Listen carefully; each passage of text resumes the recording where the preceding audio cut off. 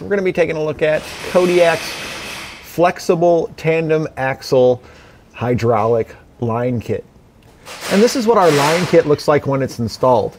We're looking at kind of the main junction block of it. You'll get a four-way in your kit, and this is kind of the main spot where everything branches off to. You'll get a 20 foot main line in your kit, and that's this line here. You can see we looped around a little bit of the excess we had. This goes all the way up to the actuator located at the front. You'll also receive two of these smaller lines for connecting into your brakes, except for the ones that we're showing you guys here today are actually not the ones that come in the kit. And I did want to talk about that. I've installed this kit now quite a few times, and I would say maybe every time except for one, I've had to replace these lines here with ones that have a 90 degree fitting, so that way they are long enough to reach our caliper without the line contacting anything. And it's really important that these flexible lines don't contact anything. If this is rubbing up against metal or something, it'll rub through it and then you'll have a line leak. So besides this line though, I do really like this kit. Um, besides that they give you the straight one, I really like this kit because it simplifies your installation. It's much easier to run flexible line throughout your trailer than it is to run hard line. Hard line requires some special tools, and if you kink it, you can potentially damage it, and then you know you got to start over. It's a lot harder to damage these during the installation process. Um, the main thing is that once these are installed, you make sure that they're not able to rub on anything that can wear through them.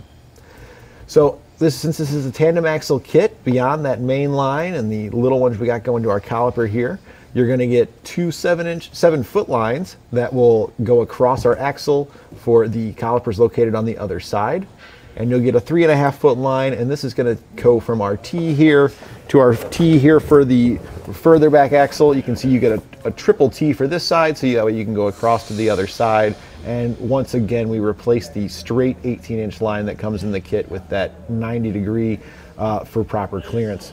But I wanted to show you guys here so you see how everything is clearing. We have, uh, currently we've got our wheels off the ground, so you can see they, they spin. And it's important to make sure that you've got enough travel because since, uh, since the wheels are off the ground, we know that our axle's as far down as it can possibly go here. So we know we're going to meet our farthest travel. And then also when we go up, we're going to be able to have it go up without it touching things. That's kind of what we're looking at here is how this line is situated. So that way as it goes up and down, we can see that it's going to stay away from those uh, components that it may potentially touch. And then I'm going to show you just a little trick. If we um, run down our hose to about right here, this is a little trick you guys can use at home um, if you're having difficulties finding a spot to put this line where it's potentially going to rub something, uh, you can put some hosing around it and then you can zip tie it. You don't want to zip tie directly to the line though. This plastic will wear through it. Uh, so it's important that you, you put some kind of protector on there. This hose kit is rated for enough pressure for both a drum hydraulic or disc hydraulic system.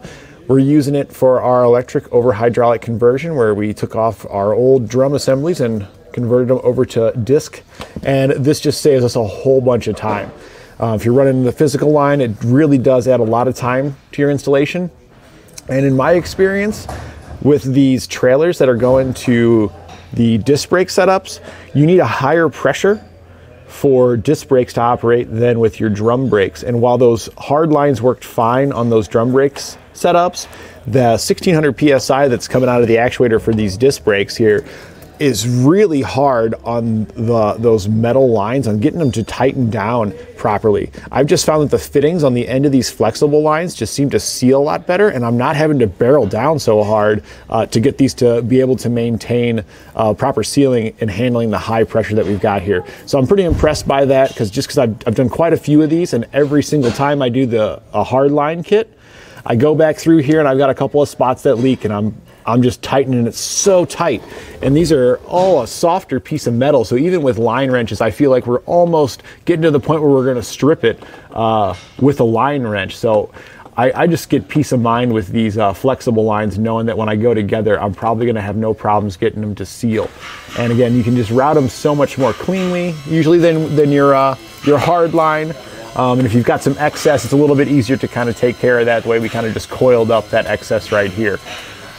So now we're showing off the 20 foot mainline uh, tandem axle kit today, but we do have these available in other length kits. So if you've got a, a, shorter trailer, maybe an 18 foot or a longer trailer like a 30 foot, you can get that mainline in different sizes to make sure you've got the appropriate length to go back to your axles. And we also offer this in a single tandem or triple axle kit so you can get, make sure you got enough hoses uh, to be able to install those.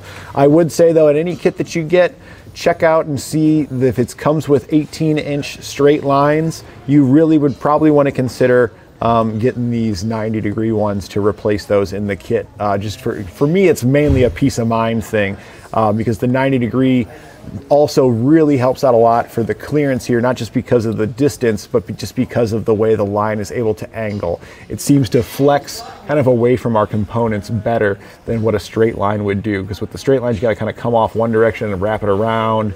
Um, if you go off this direction, you know you're potentially uh, going to hit the leaf, and then if you go off this way, you're further away. Um, which usually that's kind of what we ran into. We were too far away uh, with the distance, so it was just really not a good way to do it. So I, I highly recommend you look at these here. Uh, it's the Kodiak 18 inch 90 degree. It's going to probably make your system a lot better with this. We'll then just tighten this down into our caliper here.